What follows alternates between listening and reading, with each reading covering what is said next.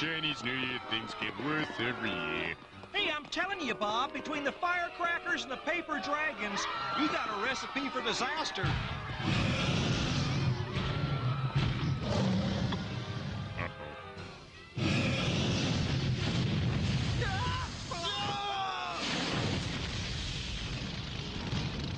What's wrong with the guys in that dragon?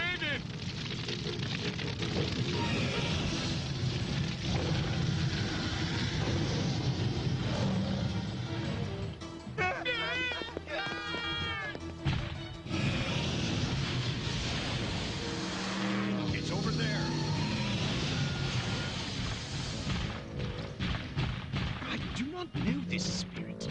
Spirit might touch. Someone has given life to a paper dragon.